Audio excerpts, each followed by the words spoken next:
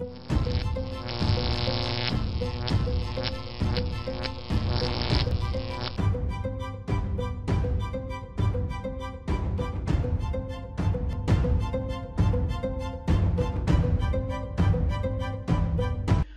we can search VIs for text in the front panel window, block diagram window, VI revision history and VI and object descriptions and replace the existing text with another piece of text. You also can find and replace text in the configuration of a call a library function node. If we have state chart module installed, we can also find text in the guard and action code of a state chart. We can find and replace text in the state chart editor window as well.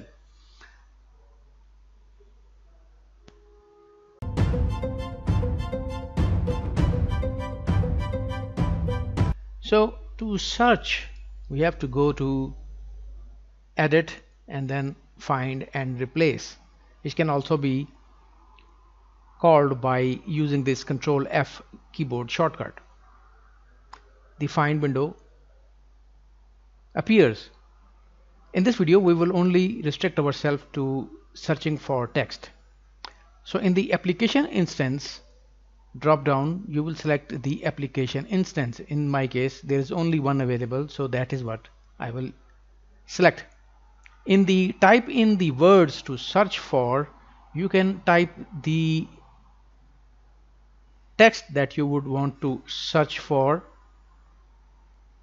and below that you can specify whether it is case sensitive whether the search has to match the whole word or is it a regular expression. As you can see it does support regular expression. If you press more options text search options dialog box appears. In the search and VIs you can select whether you want to search in front panel description text, ignore clones, history text or in block diagram as well. In search in objects label you can search whether the search will go through the visible labels, hidden labels. And in search in objects data and parts section you can select whether the visible hidden or description of the objects data and parts would also be searched or not. Click OK when you have made the selections then in the search scope you can select whether to search all VIs in the application instance only the selected VIs or the VI from which you launch the search. If you want to restrict yourself to a few VIs but first you have to have this these uh, other VIs uh, open so I will cancel it and then launch a few VIs and then call the search again by going to edit and find and replace. Let's say I want to search for this symbol.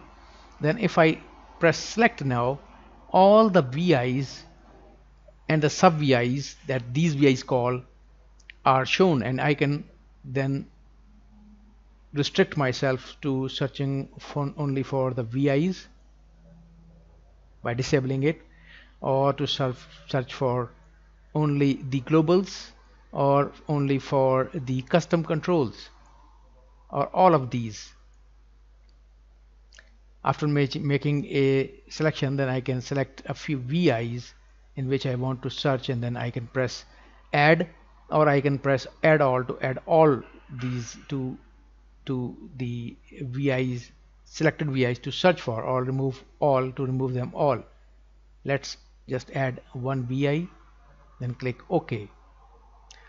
Then we can include whether to search in hierarchy window as well or not. Once we have made our choices let's launch the search. If it, it if it does find something then it will show up uh, here. Let's select for the time being uh, all VIs in application instance and then press find. And all the instances where the search term was found are now listed here. So we can select a particular VI and then select go to and LabVIEW will go to and highlight that particular VI if it is in the front panel or it is if it is in the block diagram as well LabVIEW will go and highlight that particular term in that particular place. Further we can also replace the uh, a particular term. Let's suppose we want to search for the add symbol. I have, I have removed the match whole word uh, option then press add and suppose we want to replace this add with the spelling of add uh, we can select a particular VI and then replace selected or we can replace all.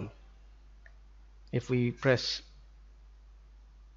we can also go to that particular instance to see where the the replacement will take place. Then we can click replace selected and it will be replaced further note that if we have a text that cannot be changed for example the property and we then search for it LabVIEW displays this strikeout icon which shows us that we cannot replace the text. Um, that, that that particular item is not replaceable even if we try nothing will be uh, replaced since it is a static text uh, not our text uh, user defined text and so it cannot be replaced